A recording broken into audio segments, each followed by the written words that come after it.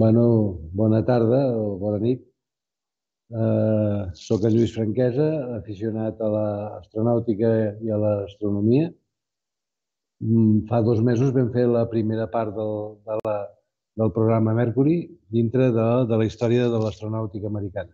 Eh, avui ens toca parlar, el primer, al novembre vam parlar sobre la, el, els, els objectius del programa Mercury, la creació, mm, els, la càpsula, els propulsors i vam, de, de, de com s'havia eh, format tot el projecte i el per què s'havia format. I avui ens quedava pendent els, els astronautes, parlar dels Mercury 7, dels set astronautes escollits per anar a per ser el primer programa eh, espaial tripulat americà. Aquest programa es va produir entre, entre el 1961 i el 63. Aquests són els astronautes que, que parlarem avui. Per ordre de, de, de llançament van ser l'Alan Shepard, el Virgil Grison, el John Glenn, Scott Carpenter, el Walter Schirra, el Gordon Cooper i el Donald Slayton. Aquest últim no va poder anar a l'espai perquè va tenir una afecció cardíaca que va, després posteriorment va resultar que no era, no era, era, va ser un problema més aviat més que orgànic funcional, però no va poder volar. O sigui, els vols realment van ser sis una altra imatge dels set astronautes escollits i una cosa que tinc a dir és que les, les diapositives que, que, que anirem comentant, solament comentaré la part més important, perquè entre altres coses seria molt llarg i seria bastant pesat, i solament, eh, i, i com que aquests treballs sempre es queden aquí guardats a l'agrupació astronòmica, sempre ho podeu consultar-ho. Per tant, solament comentarem els aspectes més importants de cada diapositiva. En aquesta diapositiva, eh, la NASA va anunciar els, els, oficialment els set, els, els set astronautes el 9 d'abril del 59. I aquesta, la principals conteixements de cada missió van ser aquests. L'Alan Shepard, amb ordre de, de, de, de, de, de llançament, va ser el primer en volar a l'espai amb un vol suborbital. El Virgil Grison va tindre un, un fet eh, important que se li va enfonsar la càpsula el, el, després de l'amaratge. Ja, ja comentarem aquest fet. El John Glenn veritablement va ser el primer eh, americà en, en orbitar la Terra. Scott Carpenter eh, va tindre un error amb la, amb el, amb, amb la, amb, quan va entrar a l'atmosfera i això li va provocar un, que caigués amb, amb més de 400 quilòmetres més enllà del punt previst. El Walter Sierra mm, va ser un vol quasi perfecte i el Gordon Cooper va ser l'últim vol del programa Mercury, que va durar més d'un dia, un dia i, i 10 hores. Va, va, va comprovar que l'home podia anar a l'espai més, més d'un dia. Era una de les missions principals del programa Mercury. Aquí parlem dels principals vols. Quan parlem de la, de la, de la missió i quan diem MR o MA, volem dir Mercury Redstone, que és el propulsor, o Mercury Atlas. Eh?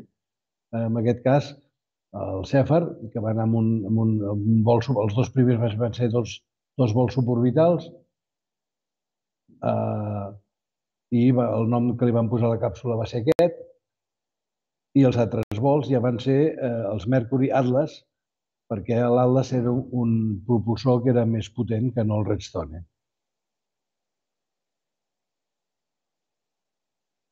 Una de les missions dels astronautes va ser la publicitat i el, el, el que es va encarregar d'això va ser el John Glenn, que era el, el, el que estava considerat el millor orador dels, dels set. Totes les seves històries les van publicar amb la revista Life, que considera els astronautes com a homes de família, patriotes, temorosos de Déu, bueno, eren uns, uns herois. Uh, la selecció es va decidir que aquesta selecció es faria tan sols amb pilots de proves militars i que reunissin aquestes condicions. Tenir una educació en enginyeria de vol, ja fos de, de, de, de, de la Navy o fos de l'Air Force, tenir moltes hores de vol amb experiència en pilotar els avions militars més avançats i haver participat com a pilot de combat amb la Guerra de Corea o amb la Segona Guerra Mundial. En principi es van presentar 508 eh, eh, persones, dels quals en una primera selecció van quedar 110 i en una segona selecció van quedar 32. Finalment, aquests 32, qualsevol d'aquests 32 ho hagués pogut ser perfectament un dels, un dels candidats, dels set finalistes, eh, i la majoria d'aquests 32 van ser amb altres promocions, amb la segona i tercera promoció, eh, van, van ser seleccionats. Les condicions bàsiques de formació era tindre una edat entre 25 i 40 anys, una alçada inferior a 1,80 m, ja que la càpsula era petita, tenir un títol universitari en matèria d'enginyeria. Això no sempre es va complir, però teòricament eren aquestes les condicions. Aquests astronautes van tenir que fer una simulació eh, de força G amb, un, amb, amb una centrífuga, en un centre de Jonesville, a Maryland, per, eh, per, per poder eh, eh, suportar les, les, les acceleracions de, la, de, diguéssim, de la sortida i l'entrada a l'atmosfera. També va fer entrenaments i gravidesa amb avions especials eh, de, de càrrega que anaven forrats per dintre. Van fer pràctiques amb una nau espacial giratòria que es deia Màstic, que era instal·lació d'inèrcia de proves de gir de múltiples eixos, ja ho veurem. I van tenir que estudiar assignatures com estudi d'astronomia, de geologia i de moltes, de física, de moltes altres coses. I també, és clar, van tenir que fer la recuperació de l'astronauta, que al principi es va fer en unes piscines, unes grans piscines, i després a, a alta mar. Van haver-hi unes excepcions dignes de, de, de, de, de mencionar. El Neil Armstrong no va ser escollit perquè en aquell moment no estava actiu en el servei militar. Sí que va ser, tot, tot i que eh, estava en el programa previ al programa Mercury, que era el programa Main Space Sones, eh, el programa que va, que, que, que va ser substituït pel programa Mercury. El John Glenn eh, no tenia títol universitari, li faltava poc, però eh, gràcies a que va poder tindre influències va poder ser admès. Aquesta sort no la va tindre el Chuck Jaguar, que era un, eh, que era un pilot molt famós d'aquell moment, perquè va ser el primer, la primera persona en superar la barrera del so, però no va tindre tanta influència com el John Glenn i no va tindre aquesta sort. I el Jim Lowell, que va ser escollit juntament amb el Neil Armstrong amb, amb, amb la segona promoció, no va superar les proves mèdiques per un error tècnic, no perquè tingués cap problema mèdic. Aquests són els set astronautes, ja anirem veient imatges, el Shirra, el Shepard, el Grison, el Slayton, el Glenn, el Carpenter i el, el Cooper. Més imatges del set dels Mercury 7, això va ser el dia que els van presentar a, un hotel de Washington, el 9 d'abril del, del 59. Més imatges d'aquesta presentació. I aquí es veia, es van començar a entrenar.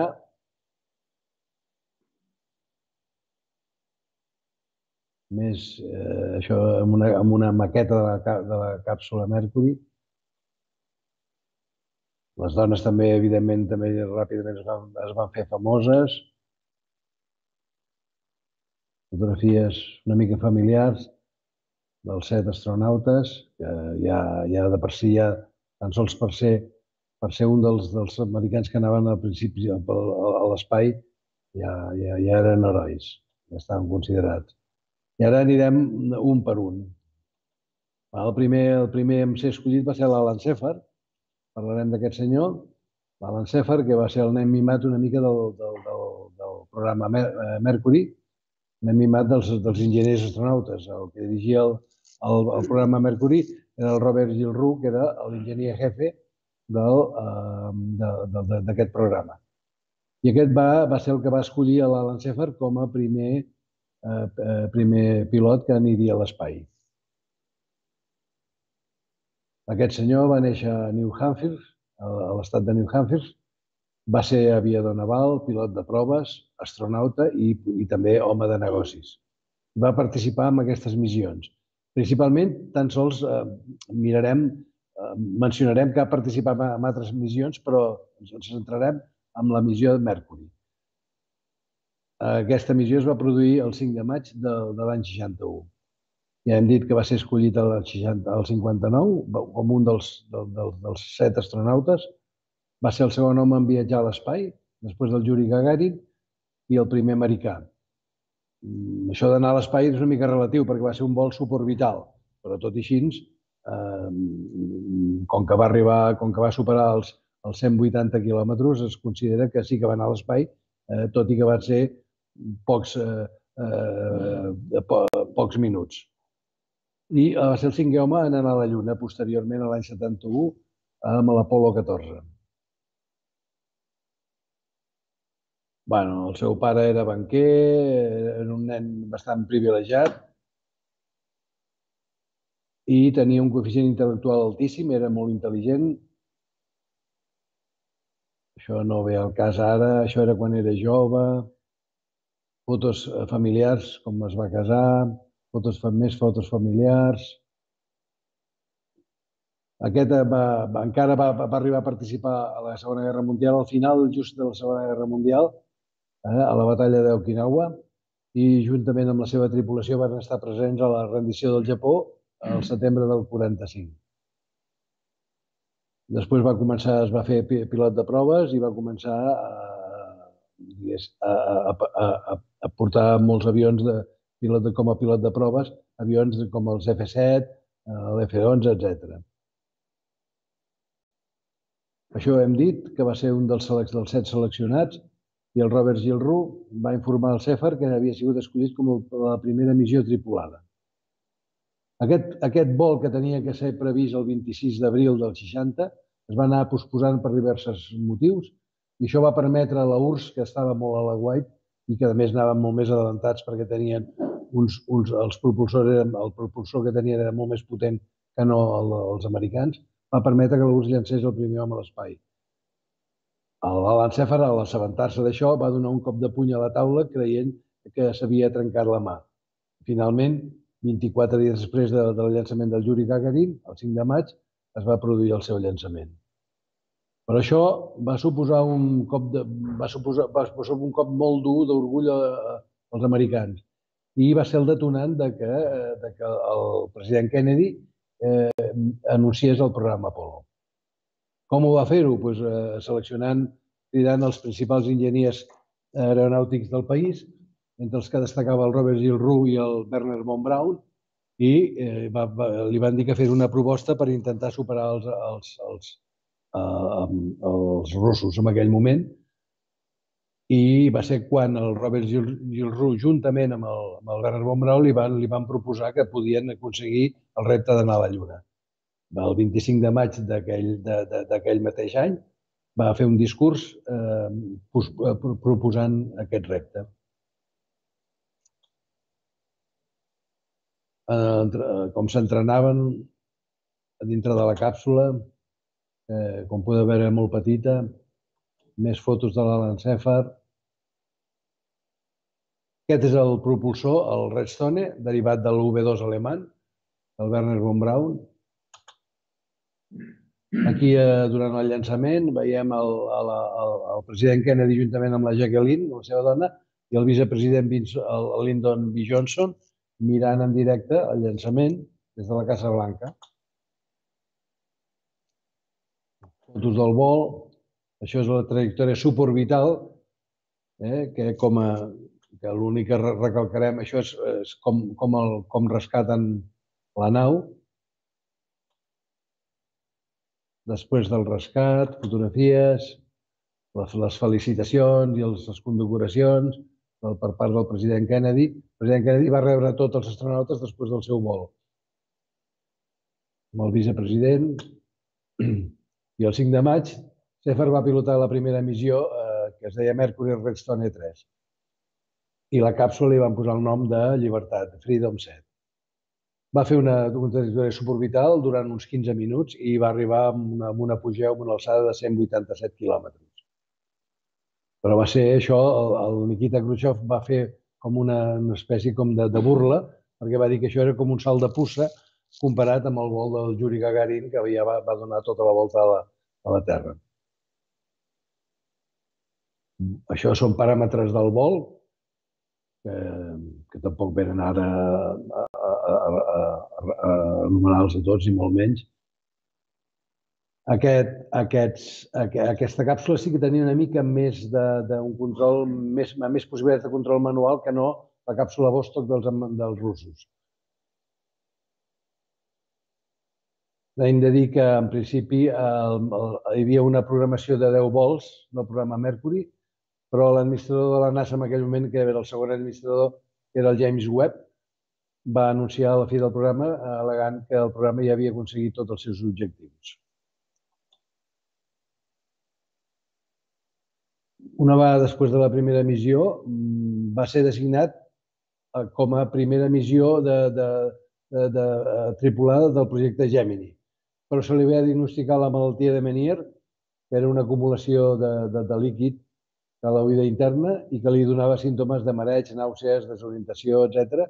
I això va, va, va, va, va, va, va ser el detonant de que eh, deixés de ser... De, de, en aquell moment va, va tenir que renunciar a ser astronauta en aquells moments i amb el seu lloc el va ocupar el Grissom i el Jaume.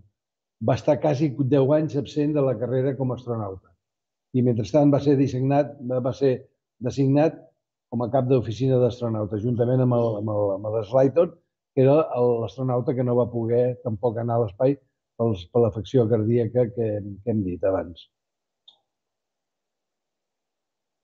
Però deu anys després, a l'Statford, un, un, un, un astronauta, un company seu, li va, li va dir que hi havia un otòleg a Los Angeles que, cuida, que tractava la malaltia de Menia i així va ser ho va tractar-ho d'una manera exitosa i va ser reincorporat com a astronauta readmès eh, 10 anys després. Com era el nen mimat, l'Slayton, que en aquell moment era el director d'operacions i antic company seu, li va proposar aviam si volia comandar la missió de l'Apolo 13. Uh, per això els, els, els gerents i els, els administradors van dir que van, els va criticar perquè van, van al·legar que no tenia prou experiència, havent estat 10 anys parat. I la resposta del, de, de l'Slayton va ser, va, va, li va dir a Jim Lowell si tenia, si volia canviar-se de pilotar a l'Apolo 14 per l'Apolo 13. I s'ho van canviar. I va tindre la xamba aquest de que l'Apolo 13 ja sabem que va ser el que va, eh, va tindre el fallo de l'explosió d'un tanc d'oxigen i no va poder anar a la Lluna. I en canvi l'Apolo 14, mm, un any després, va poder anar a la Lluna eh, al cràter de Fra Mauro. O sigui, aquest eh, va néixer amb la flor, amb, amb la flor o pompis que en diem, sempre va tenir sort amb tot aquest. La missió de l'Apolo 14 estava composada per ell i per, dos, i per Edgar Mitchell i Stuart Rossa, va ser l'any 71.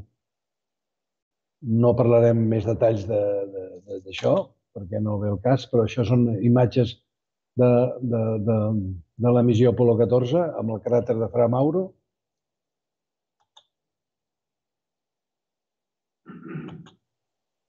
i després eh, sempre va estar considerat com un heroi de l'espai. Va morir l'any 98 d'una leucèmia.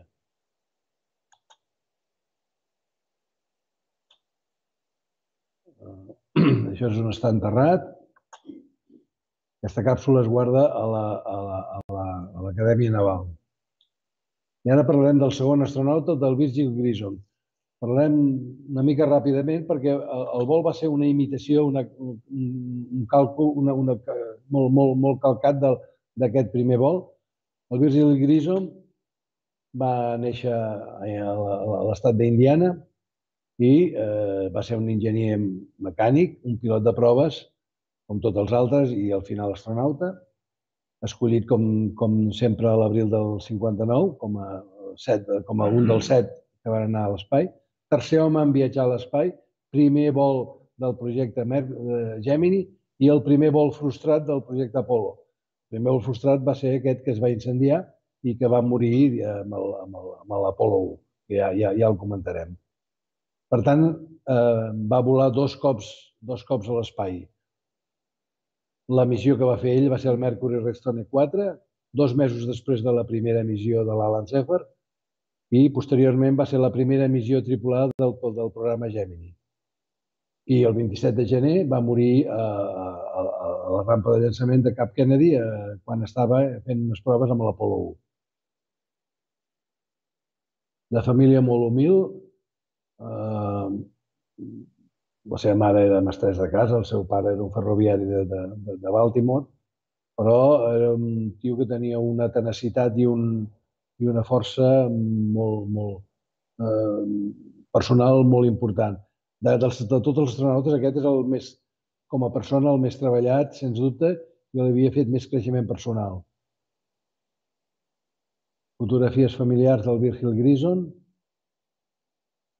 hem de dir que aquest, de seguida, bueno, com tots, eh, van, van participar en, en, en més de 100 missions de combat durant sis mesos, enfrontant-se a la guerra de Corea amb els mics nord-coreans. Més fotografies del Virgil Grison. I una vegada va ser seleccionat el 59 com a Mercury 7, el, el, el, el, el Robert Gilroux li va comunicar que seria el segon astronauta en anar amb un vol suborbital i la missió es va planejar com una repetició del vol anterior. Més fotografies dels set, dels set astronautes entrenant-se a la centrifugadora i a, la, a les piscines eh, de, de, de, de Virgínia, a Langley.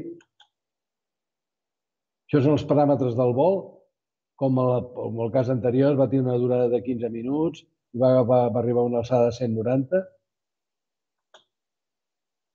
Més, eh, més, més, més paràmetres. Ja he dit que tots aquests, com que aquestes dades estan per qui els vulguis, els pot, els pot veure tranquil·lament, amb més tranquil·litat. El nom de la càpsula li va posar el nom del nom de Liberty Bell en, com, en commemoració de la campana de llibertat americana. Eh? Això és el que poso aquí. Hem convertit la campana de la llibertat, símbol de la independència nord-americana. A més, la càpsula tenia, té una forma de campana. Va anar tot molt bé, però eh, a l'amaritzar es va produir, justament quan va, quan va tocar l'aigua, es va produir inesperadament l'obertura eh, de l'escotilla i els, l'escotilla, els perns de l'escotilla van, van, tindre un, van explotar i va provocar que la nau s'inundés ràpidament.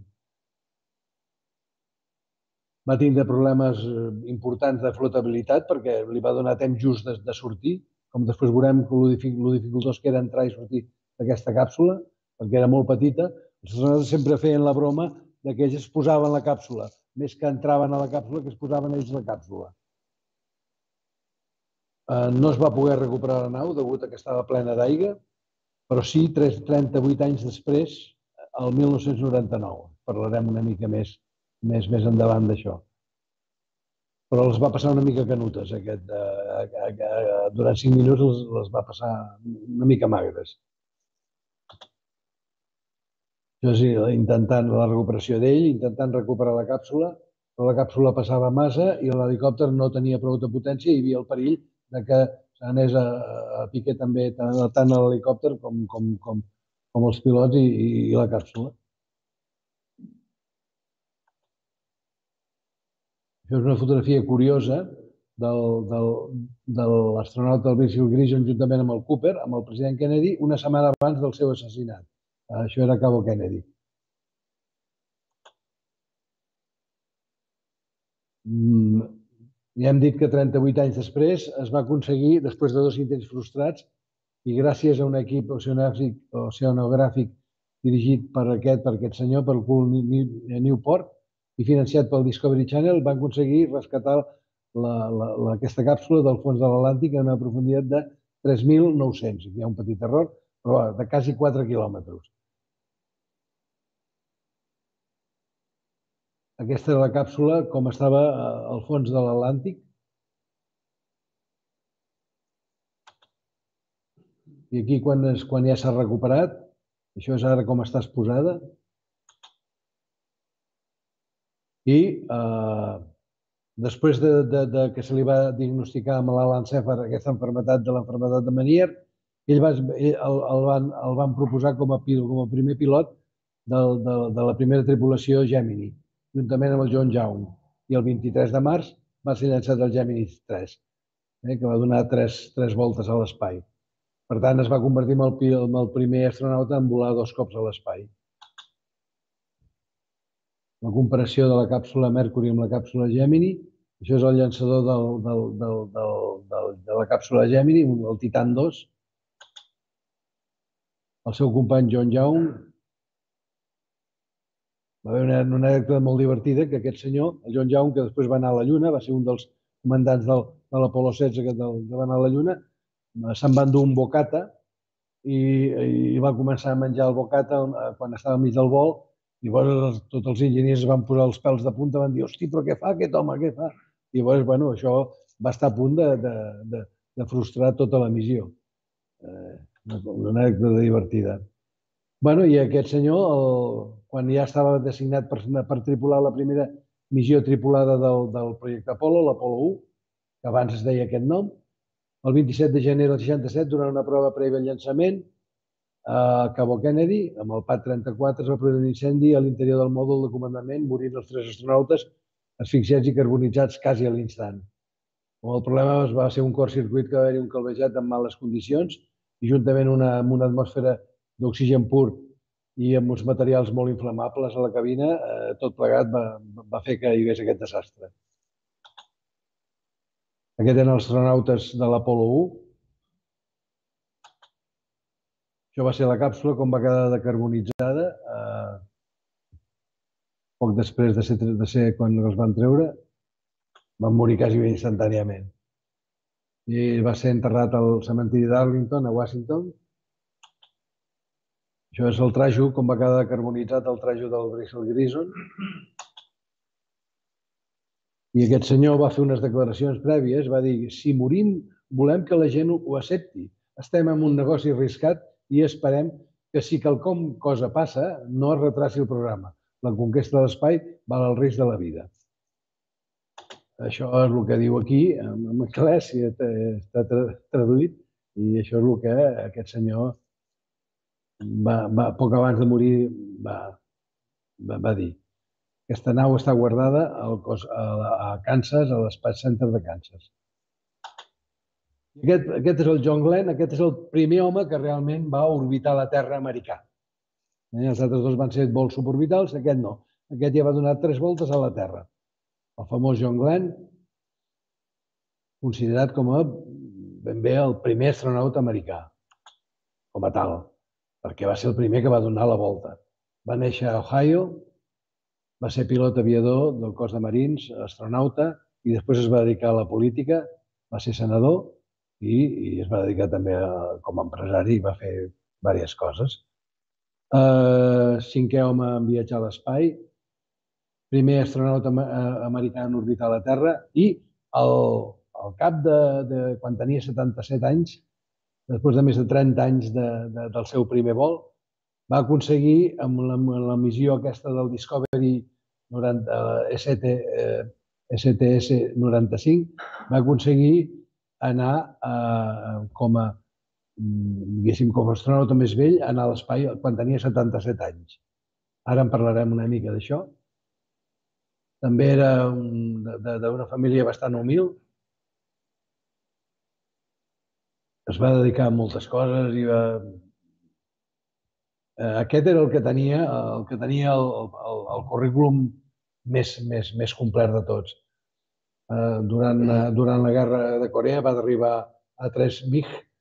Eh, això de derribar els MiGs era tot com una, com una, com una eh, condecoració especial que tenien els, els pilots d'aquests militars i estaven considerats com, a, com, a, com una, un prestigi molt, molt gran.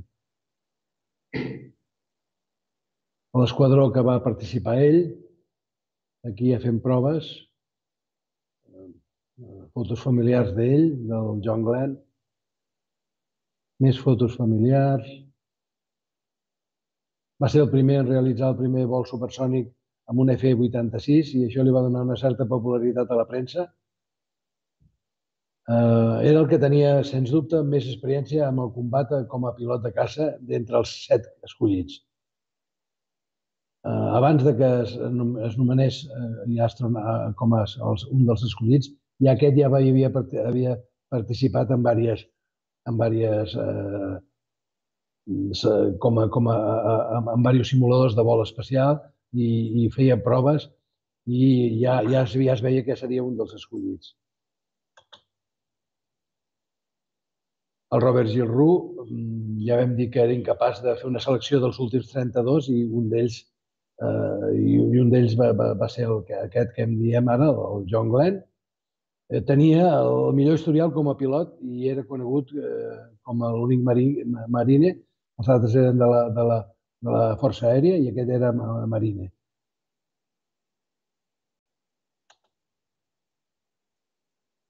Més fotografies dels Mercury 7, els set escollits. El John Glenn entrenant-se dintre de la càpsula. Poc abans de despegar amb la seva, amb la seva eh, càpsula que li va posar el nom d'Amistat. Més fotografies juntament amb l'Scott Carpenter. Això són els paràmetres. Eh? Va donar tres voltes a la Terra anava amb una velocitat de 28.000 km per hora i, esclar, i aquí l'alçada ja era molt més alta, ja, l'apogeu era de 248 km. La data va ser el 20 de febrer del 62, després de molts, de, de molts, eh, de posar la data aquesta moltes vegades. Més paràmetres que no venen al cas ara. Això era el centre de control Mercury que estava a Cap, a Cap Canyaveral, i aquest era el Chris Kraft, el director de vol de totes les missions Mercury. El John Glenn entrant a la càpsula abans del llançament. El llançament, aquí veieu ja que el, el propulsor ja no és el Restone, sinó és l'Atlas, l'Atlas, D. Prèviament, eh, tres mesos abans, al novembre del 61, tres mesos abans del, del, del, del, del llançament del, del John Glenn, s'havia fet la prova amb un ximpanzé Enos amb èxit. I després ja es va decidir, després de, molt retard, de, de més de 11 retards, eh, posposicions, llançar el 20 de febrer del 62. Durant el llançament va anar tot molt bé, però es va detectar un fallo en el sistema de control automàtic i eh, hi havia un indicador telemètric que, que detectava que, que la bolsa de flotació situada darrere de l'escut tèrmic s'havia desplegat si, si això hagués sigut veritat, a l'entrar a la càpsula a l'atmosfera s'hagués desintegrat tant, tota la, la càpsula juntament amb l'astronauta. Però no va ser així, gràcies a Déu. Fotografies del, del John Glenn durant el vol. Eh, amb aquest indicador, el director de vol eh, es va, se la va jugar i va decidir no desprendre del paquet, que després ho entendreu més bé, amb, les, amb, amb fotografies posteriors, i va, va, va decidir conservar aquest, aquest paquet dels retrocoets per l'entrada perquè d'aquesta manera sempre ajudaria a mantenir més fixa l'escut tèrmic, que, que segons l'indicador LED aquest estava després. Com a primer nord-americà es va convertir en un heroi nacional, sens dubte. Aquí és la recuperació de la càpsula, després del vol, Eh, els, els, els desfiles i els prèmits de la rebuda amb el Kennedy. Es va fer molt amic del president Kennedy. Uh, aquí, tres dies després del vol, un homenatge a, a, a, a, a, al cap, a Cap Canyaveral. Aquí és rebut a la Casa Blanca. I aquí tenim el John Glenn parlant amb el Robert Gilroux, que era el, el director jefe, l'enginyer principal del projecte Mercury. Aquest és, aquest és l'artífex de, de, de, de tot el projecte Mercury, principalment va ser aquest, aquest senyor. Ja hem parlat amb altres, amb altres xerrades anteriors. Una cosa curiosa que es va produir poc després del llançament del John Glenn, va visitar, va visitar Cap Canyaveral, el Jack Herman Titov. Herman Titov era el segon astronauta rus que va anar a l'espai després del Yuri Gagarin, el van invitar i va, eh, va ser rebut pel president Kennedy i pel John Glenn, aquest és el Herman Titov, que ja aquest ja havia donat, un, ja havia, havia estat a l'espai durant a l'agost del 61 durant un dia ja sencer i portava molt d'avantatge sobre els, els americans. Robert Kennedy Eh, li va suggerir el desembre de 62 que es presentés al Senat i així ens ho va fer-ho. es, es va apuntar a la carrera de, de, de, del Senat, va guanyar les eleccions el 74 i va iniciar una cursa que va, no, va, no va acabar fins al 99 i va, ser, va, va, va representar com a senador a l'estat d'Ohio pel Partit Demòcrata. Va intentar la candidatura a la presidència a l'abril del, del, del 83, però no va tindre sort i l'únic que cal recalcar com a polític és que com a senador va ser l'autor principal de l'acte de no proliferació de les armes nuclears que es va firmar l'any 78. Hi ha moltes altres anècdotes, però que no venen al cas perquè no tenim temps de comentar-les. Uh, després de llegir uns llibres de, de, sobre medicina, uh, medicina aeronàutica i sobre psicologia, va enviar una carta al, al, al administrador de la NASA, en aquell moment era el Daniel Goldin, perquè fos inclòs en una missió del transbordador especial per estudiar els problemes de l'envelliment. El Goldin aquest li va dir que, bueno, que s'ho estudiaria i que ja li diria alguna cosa. I com que era una mica enxufat i era senador i tot això, eh, va ser admès com a, com a, com a, pil, com a pilot d'aquesta missió, formant part de la missió eh, de la missió del transbordador espaial STS-95, amb el transbordador Discovery i eh, aquest que va tenir una durada d'aquest vol de 9 dies, el Glenn es va convertir als 77 anys en la persona de major edat en l'espai, després de 36 anys del primer, del primer vol que havia fet. Mm, com a pilot especialista que va participar, eh, va fer estudis biomèdics, ritmes circadians, etc. I, eh, bueno, eh, va ser una, va, coincidir amb l'astronauta espanyol Pedro Duque, que després ja veurem unes fotografies. Aquí tenim el, el transbordador, els, els, els, els, el, el Pedro Duque, juntament amb el John Glenn, l'any 99, o no, el 98, perdó, amb aquesta missió de, del transbordador espaial. Es va morir no fa gaire, es va morir l'any eh, si no me'l recordo, el 2016, sí, el, el 8 de desembre del 2016, als 95 anys, o sigui, per tant, no fa... No, va ser l'últim en morir dels set, dels set astronautes d'aquests que parlem avui. Rebent una condecoració del president Obama, eh, com ens tornem de ballets tots plegats, eh, aquí es nota, eh, d'heroi, eh, i va morir el 2016. Juntament aquí amb el Neil Armstrong, el Collins i l'Aldrin, els astronautes de l'Apolo 11, i aquí eh, comentant, eh, xerrant amb el Neil Armstrong, ja quan eren una, una mica vellets i aquí. Aquest, aquesta càpsula està guardada al, al Museu Nacional de l'Aire de, de Washington. Parlarem del, del quart astronauta, l'Scott Carpenter, que va ser una missió també bastant, bastant similar a la del John Glenn. Aquest astronauta va néixer a Colorado, era llicenciat en, en enginyeria aeronàutica, pilot de proves, astronauta i també va ser aquanauta. Com tots els altres, escollit l'any 59 de, de, com el, dintre dels set astronautes, quart home americà en viatjar a l'espai i va participar al programa amb el SEALAB, eh, que era un, un laboratori bastant gran a 62 metres de profunditat davant de les costes de Califòrnia i, i l'havia enxufat, es va fer amic del Jacques Cousteau. La missió que va participar ell es, es va dir Mercury Atlas 7 i li va posar el nom a la seva càpsula d'Aurora 7, el 24 de maig del 62. El van criar els seus avis perquè els seus pares eh, van, va fotre el camp, la seva mare tenia enfermetats de tuberculosi, etc. Un, eh, es va casar, va tindre vuit fills, es va casar, tres matrimonis, es va casar quatre cops, era tot un mujeriego. Eh, fotografies de la infància, de l'Scott Carpenter, la primera dona que va tindre,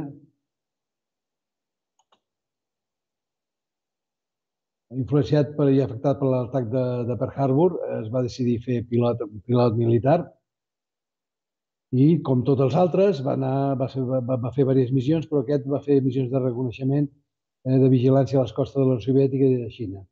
Va pilotar diversos avions de combat i els paràmetres de la missió molt similars a les del John Glenn. Tres òrbites, Aquest és el que parlem, l'Scott Carpenter. Scott Carpenter dintre dels set astronautes. Més paràmetres, més, més de, de la missió. Més fotografies de l'Scott Carpenter. Aquest sortint, fent un, un, un entrenament, sortint pel, que va ser l'únic que realment va sortir pel, pel cap de la... De, no va sortir per l'escotilla, sinó pel, pel cap damunt de la càpsula. Carpenter va ser considerat físicament com el més apte pels seus companys de promoció. Era el que estava més, més fort i més eh, físicament millor. L'única falla que va tindre va ser que es va acabar, que, que degut a un, un efecte del, de l'escàner d'horitzó, es va despistar i no va estar a la white a la, a la reentrada i va ser, es va considerar responsable en part de l'error de, diguéssim, de, de, de, de Cabadés de la, de, i, i de que l'amarissatge es produís a 400 quilòmetres més enllà del punt previst. El Chris Craft eh, li va ordenar que canviés el control al mal automàtic, però el pilot es va distreure eh, per diverses coses que no venen al cas i això li va, li va produir que retracés, que, que s'anés més enllà de 400 quilòmetres. Eh, a la reentrada, aquests astronautes aguantaven forces de 11, o sigui, que vol dir una 11G vol dir doncs, 11 vegades el pes del seu cos. Això es posava en evidència per les necessitats de, amb, la, amb la dificultat de, de parlar eh, a l'aguantar aquesta, aquesta pressió tan forta.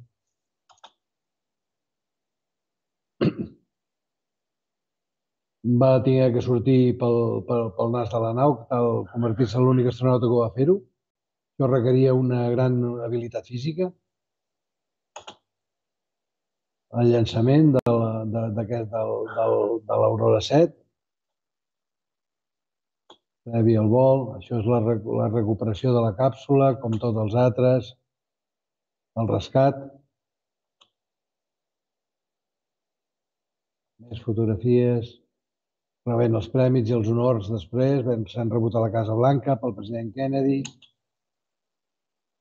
I com que ja li van dir, el Chris Cap li va dir que ja no tornaria a volar, doncs es va apuntar amb el programa SILAB 2, eh, que no entrarem en detalls. Es va fer amic del Jacques Cousteau. Aquest era el laboratori submarí on va participar. Va estar més d'un mes aquí dintre, fent proves, celebrant el 40 aniversari del, del, de l'Apolo 11. Eh? Ha aquí una mica amb el, amb el John Glenn i aquest era l'Scott Carpenter. Eh? Com ens tornem, eh? com ens anem envellint. Ell va ser, sempre va dir que va ser un astronauta i un aquanauta. I, eh, i, va, i va comentar l'experiència del vol és increïble, addictiu i transcendent. És una visió de la grandesa de totes les coses que és senzillament inoblidable uns comentaris que va fer poc abans de morir també. El cinquè, parlarem el Walter Sirra. Aquest va ser l'únic pilot que va, ha participat en els tres vols tripulats primers americans, amb el vol amb el, projecte, amb el programa Mercury, Gemini i Apollo. És l'únic astronauta d'aquests set que ha participat amb els tres. Va néixer a New Jersey, eh, va ser enginyer aeroespacial, aviador naval, astronauta, i després es va dedicar a, a, com a periodista del corresponsal per a, eh, comentar els vols de, de, diguéssim, que van anar els vols de la Lluna. Cinquè astronauta nord-americà, l'únic astronauta que ha participat en els tres programes, que ja ho hem dit, i va participar en totes aquestes missions. Principalment comentarem aquesta i tan sols mencionarem una mica aquestes dues.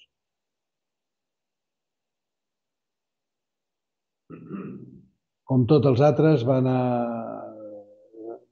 com a aviador, va ser destinat també a, a, a la guerra de Corea, fotos familiars d'ell, veus, va volar amb 90 missions, va batre dos MiG i eh, tenia un currículum molt bo i moltes hores de vol. I per això el van escollir com a un dels, dels set astronautes dels, dels Mercury 7. Hi ha el començament de la, de, de la formació com a astronauta. Aquest és el Walter Schirra. Fotografies del Walter Schirra. Més dades. Aquest ja va fer, no, va fer sis voltes a la Terra a la velocitat de 28 km per hora i cada vegada anaven, eh, anaven, anaven aconseguint una alçada més, més, més alta. Més paràmetres. La, la, el nom de la càpsula aquí li va posar ell el nom de Sigma 7. Va ser un vol destinat, eh, centrat principalment en l'avaluació tècnica i va ser, es va considerar un, un èxit tècnic complet d'aquesta missió. Va ser de la, potser la missió més, més, més, més perfecta de totes les que es van produir. Els objectius de la missió van ser diversos, tampoc ara ve el cas, i es van aconseguir tot el, tot el que s'havia proposat aquest, aquest, aquest vol. Entrant a la càpsula, el moment del llançament, la recuperació, com tots els altres,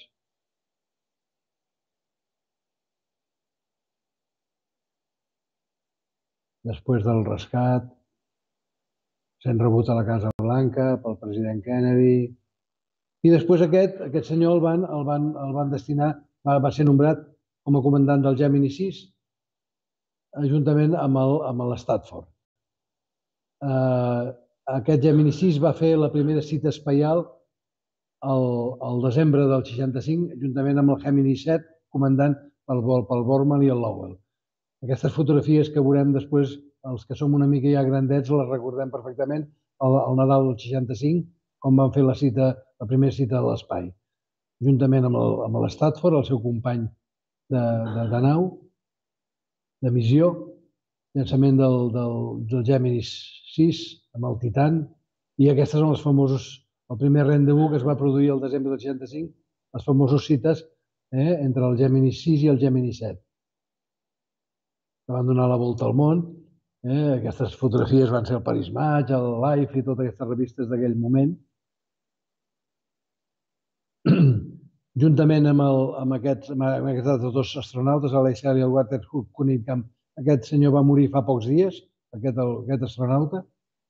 Va, va, va pilotar, després del desastre de l'Apolo 1, va pilotar el primer vol tripulat del, del, de la càpsula Apolo, l'Apolo 7 un any, un any, i mi, un any i nou mesos després del desastre, es va reanudar el programa Apolo.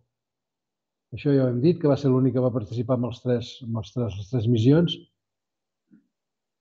El, el programa Apolo va, va, va ser el, va, van provar la, la càpsula per primera vegada, van intentar fer una, una cita amb l'última etapa del, de, del, del, del coet Saturn I.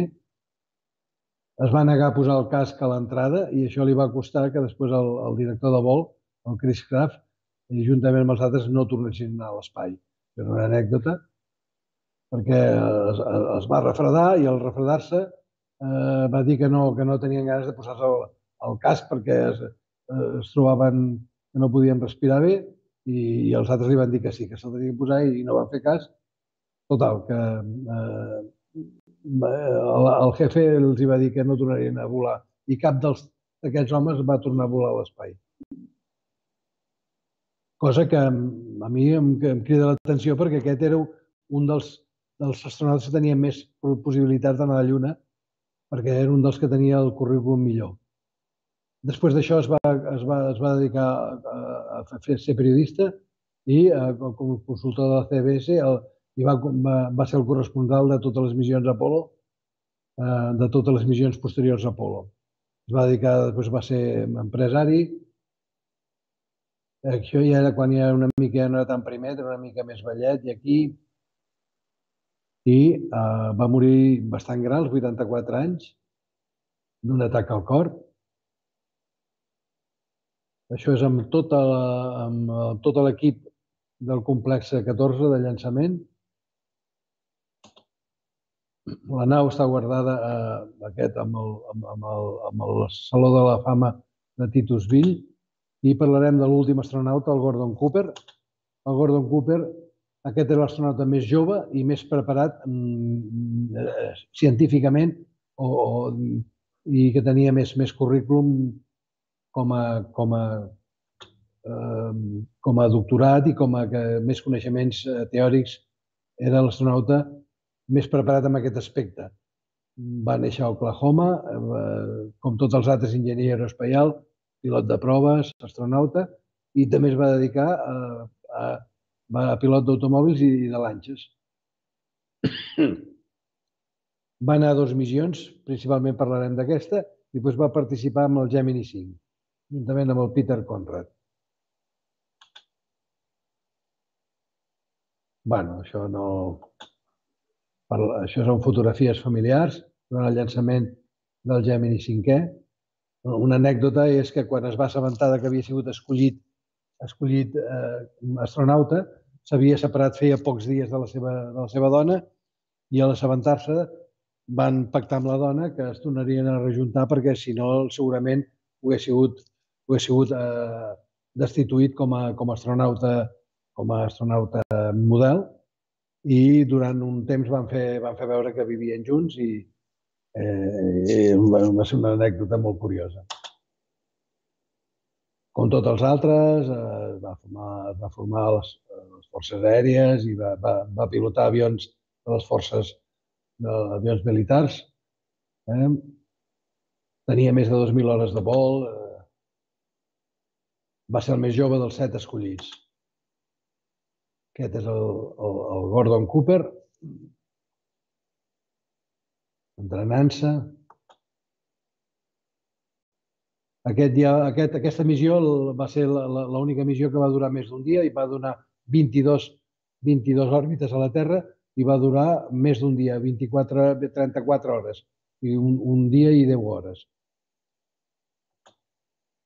O sigui, va, va ser tot una, una resistència perquè va, va aconseguit, però bueno, tot això ho havia aconseguit el Herman Titov un any abans ja ja ho havia aconseguit, el, pilot, eh, el pilot rus aquest. Els primers dos vols suborbitals van ser llançats des d'aquí, des del PAD 5è, i tots els altres vols van des del PAD 14. Això és Cabo Kennedy, Cabo Cañaveral. Aquí és on se llancen els shuttles i una mica més amunt era on se llançaven els Saturns. Això és Florida, això, és, això, és, això, està, això està concretament està concretament aquí, Cabo Cañaveral, està aquí.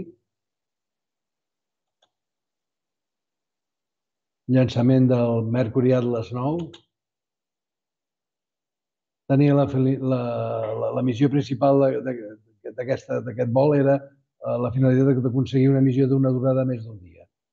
I això es va aconseguir. Primeres imatges de televisió durant el vol, tots els, com tots els vols eren dissenyats per un control completament automàtic, però aquest va tinguer que agafar el control manual a la reentrada per, per problemes tècnics i va demostrant que realment era important eh, que hi haguessin aquestes doble, aquesta doble opció. La recuperació de la càpsula per part del portaavions, Aquí ja fa una cara una mica de cansat, perquè esclar, aquest home portava en una posició fixa i tenia una mica de, de, de, de una mica d'hipotensió ortostàtica degut a, l'estar sentat 34 hores, la cara de cansat, va ser el primer home que va dormir a l'espai durant unes poques hores. El, els prèmits que va rebre. Després va participar amb el Gemini 5è, juntament amb el, amb el Peter Conrad. Eh? El llançament del Gemini 5è, el rescat del, del Gordon Cooper, i després va, eh, es, va, ja, es va apuntar per l'Apolo 10, però va ser, va ser substituït pel, pel, pel, pel seu, el seu company, que era el jefe, que era el Donald Slayton, el va reemplaçar pel, pel Shepard quan va ser readmès després de, la, de tractar-se l'enfermedad de Menier. Això el va cabrejar bastant i va, i, i, i va plegar de ser astronauta. Va, va dir que passava tot això i, i, i això va, va, va provocar que retirés d'astronauta. La cosa és més complexa, però ho explico ràpidament, perquè deia, això era un pilot de reserva, estava a l'Apolo 10, però va ser substituït pel, per l'Alan. Aquest senyor va dir repetides vegades que havia vist omnis eh, durant el seu vol Mercury. I en diverses vegades que el govern americà encobria aquesta informació sobre aquest tema. Ho va dir-ho més d'un cop. Va morir als 77 anys de, de, de Parkinson el 2004. Aquí hi ha una mica poc abans de morir, una mica vellet ja. Aquesta càpsula està, està guardada a l'Space Center de Houston. Tots els, els, els, els, eh, els vols van, ser, van, van ameritzar l'oceà Atlàntic, excepte els dos últims, que van fer-ho molt a prop a l'oceà Pacífic, a prop de les Illes Hawaii. Aquest que no va anar a l'espai, tan sols anomenarem que, degut a que aquesta afecció cardíaca, el van, de, el van designar com a, com a, i va ser, va ser el que es va dedicar a seleccionar els astronautes en les missions posteriors del programa Gemini i Apollo. i eh, al ser nomenat com a director d'operacions de vol del programa Gemini i Apollo, la seva, la seva decisió més important va ser escollir el Neil Armstrong com a primer home per anar a, anar a la Lluna. Tenia un buf cardíac que, que això va ser el que, el que el va retirar de, la, de, de poder anar, eh, de, de poder fer la seva, la seva, el seu vol, el seu vol Mercury. Aquesta fibrilació auricular va ser després bastant anecdòtica perquè es va comprovar que no hi havia cap lesió eh, cap lesió orgànica i, i que tot era un problema de tipus funcional. Eh, tan sols direm que una vegada, una vegada restablert a la clínica Mayo li van determinar que aquesta afecció no tenia massa importància, va ser restituït per, per poder, per l'estat de vol i, i encara va poder anar a l'espai quan ja tenia quasi 50 anys i el van, el van assignar al, al projecte l'any 75 el projecte Apollo-Soyuz. I així ens va ser. Va anar a la URSS a aprendre rus, juntament amb el, amb el, amb l'Statford. I eh, aquest és les dona Slayton, que no va poder participar aquí, però sí posteriorment, aquí amb el Neil Armstrong. Recordem que aquest és el que va fer que aquest fos el primer home a la Lluna. I aquí és el, va participar l'any 75 amb l'Alexi Leonov i el Vadi Kovasov va ser amb la missió aquesta, que és l'única que va, va, va poder anar a l'espai als seus quasi 50 anys. Uh, el llegat del projecte Mercury, podem dir que va ser el primer programa espaial tripulat dels Estats Units. No va aconseguir en aquell moment guanyar la cursa espaial als, russos, però sí recuperar el prestigi nacional i va ser un programa eh, precursor dels, dels, dels projectes posteriors Gemini i Apollo. I el president Kennedy va fer un ferm i decidit recolzament al projecte Mercury, aconseguint que la majoria del poble americà donés suport amb aquests vols tripulats.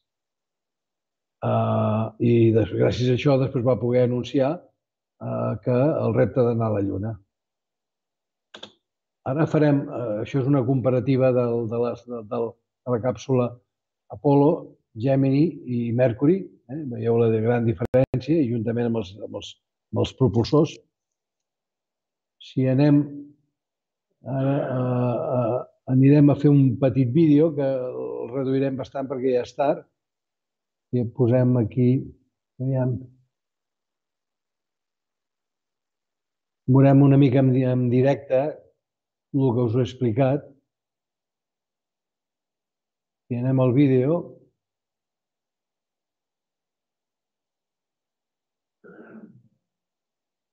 Bé, retallarem una mica perquè és una mica tard. Això és l'Alan Sefer, arribant al lloc de llançament.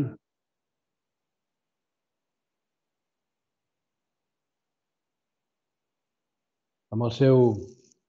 Amb, amb, amb el seu... Amb el, aquí porta... El, aquesta malatí és el malatí d'emergència d'oxigen per si falla la despressurització de la càpsula. Aquí el llançament del Redstone, aquest del, del primer vol suborbital americà.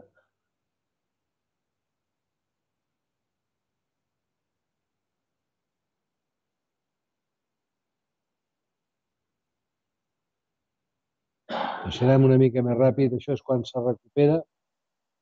la càpsula. És un altre, un altre resum del seu llançament.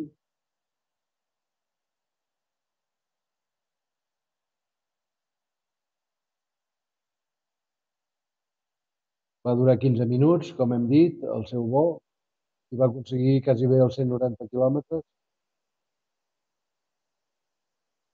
és la recuperació del, del, de l'Alan Sefer, del segon astronauta, el Virgil Grison, que va de dos mesos després, de, de, dos mesos i mig després d'aquest primer vol.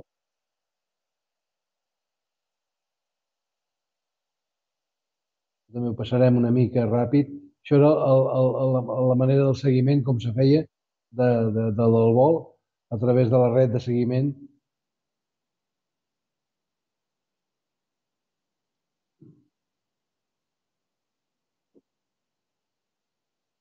poc abans de, de, de, del vol suborbital de, de, de, de Maritzà, i és com cau a l'aigua. I ara veurem una mica les dificultats. Quan va tocar, quan va tocar l'aigua, sembla, ser que, sembla ser que va ser la causa de que els perns de l'escotilla eh, detonessin i, i la càpsula es va inundar ràpidament. Llavors va omplir d'aigua, va tindre dificultats en sortir, aquí es aconsegueix sortir, encara amb el, clar, evidentment amb el vestit d'astronauta, Aquí intenten recuperar la càpsula, però com que està plena d'aigua, l'helicòpter no pot i al final la deixen anar. L'abandonen perquè si no està posar en perill la vida del, del, del, del, de l'helicòpter i la deixen anar. Passarem una mica més ràpid, això.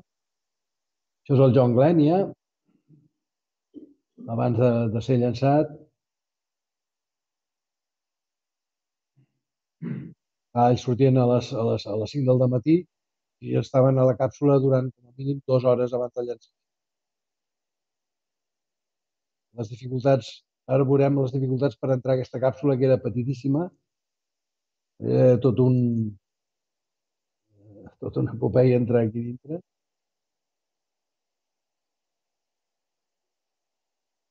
I esclar, tan difícil era entrar com sortir. Per això el, el, el, el Grison va tindre dificultats en sortir de la, de la càpsula abans no s'inundés del tot.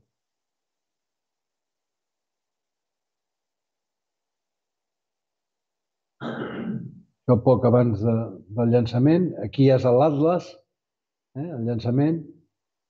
Previ al llançament, John Glenn. I aquí es produeix el llançament.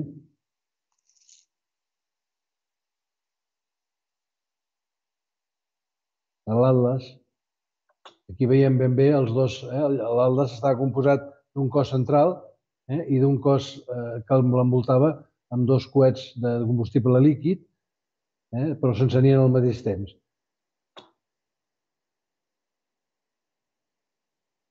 Això ja vam parlar en el seu moment dels propulsors de l'Atlas, de la red de seguiment, cada, cada, cada pas d'aquests durava eh, tenia, durava 7 minuts i tenia una, una, una extensió de, de 1.300 quilòmetres. Eren, eren tot, hi havia 18 estacions que estaven al voltant de, de l'equador terrestre i feien el seguiment des d'aquí. Això ho podem saltar una mica.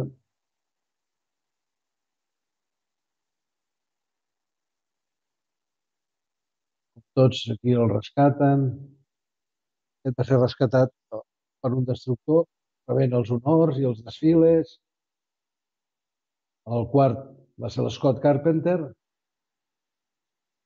l'Aurora 7. Una altra vegada més el llançament. Aquí es veu més bé els coets laterals.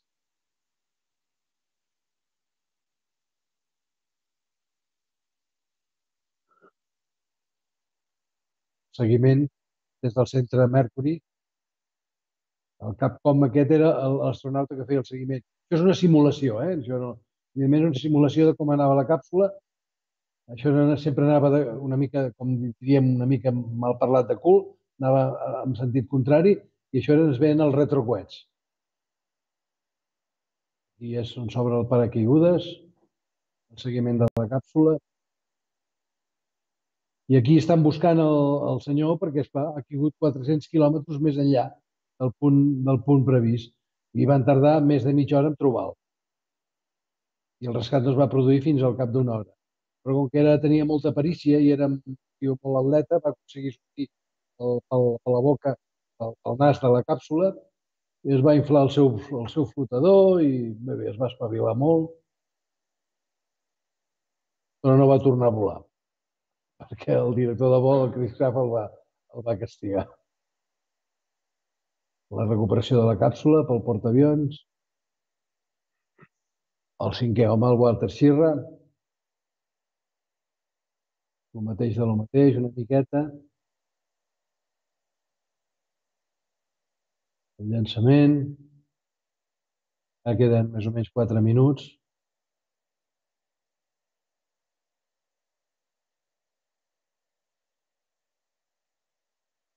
Aquest senyor ja va donar sis òrbites a la, a la Terra. Va ser potser el vol més, més, més precís. I a, com cau al mar, a, a la missatge. Això ja era el Pacífic.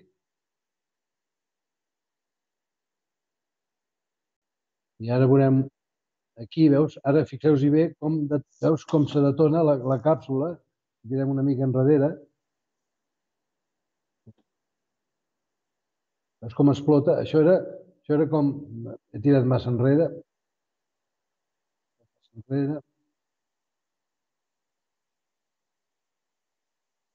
Però volia veure aquest detall que és, que és realment com la càpsula, com, com vola, com la, com la, l'escotilla vola perquè la majoria dels astronautes van sortir per aquí, per l'escotilla. Però aquests perns són els que van explotar al, al, al tocar, al, a fer impacte amb el, amb el mar, amb el, amb el, amb el Virgil Grison i per això es va inundar la càpsula. Tot la participació d'aquest del Walter Sierra amb, els, amb el Gemini, amb el Gemini, amb el Gemini 6, que va ser el que va fer la cita a l'espai, llançament del, això és el Titan, el llançament del Titan 2,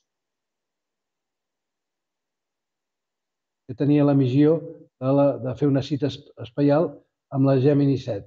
Aquestes fotografies van ser molt famoses al Nadal del, del 65 eh, i van estar a menys d'un metro d'una càpsula de l'altra. I després va, va ser el que va participar després del desastre de l'Apolo 1, un any i nou mesos després, amb el primer vol tripulat Apolo. Una mica, un resum molt... No va ser un Saturn 5è, va ser un Saturn IB. Això és sortint de la, de la, de la segona fase del, del això ens ho saltarem una mica. I ara anem al Gordon Cooper, a l'últim astronauta. Hem dit que era el més jove.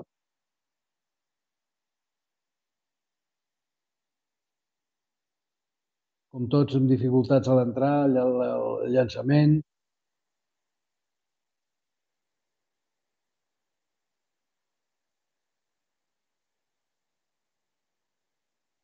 I això és una simulació de com el que feia la càpsula. La càpsula, quan, quan ja tenia que entrar a la càpsula, els retrogüets s'encenien, un, un després de l'altre, perdia velocitat i la càpsula queia, s'adreçava la, la, la càpsula, es posava, es, es desprenien, ara ho veureu, es desprenien els retrocoets, s'expulsaven i la càpsula s'adreçava i fregava i l'escut tèrmic que era el que impedia, que era el que, el, el que protegia la càpsula, i aquí s'agafaven temperatures de més de 1.600 graus, amb la fricció en l'atmosfera. I aquest, com que va aterrissar en un, un lloc molt precís, es va veure ben bé com baixava, com la càpsula està a punt d'impactar al, al Pacífic, molt a prop de les illes Hawaii,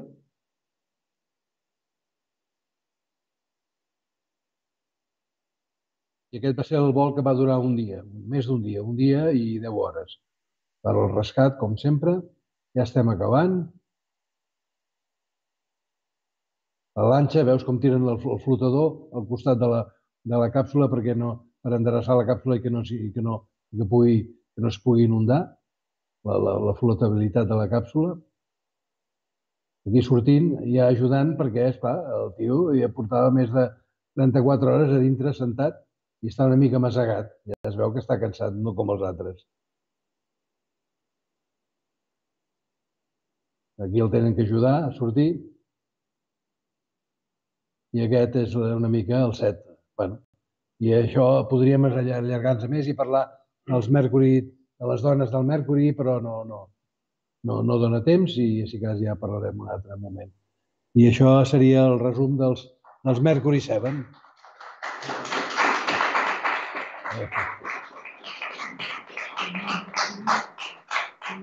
Teniu alguna pregunta? Pues, si ho puc respondre, pues, molt.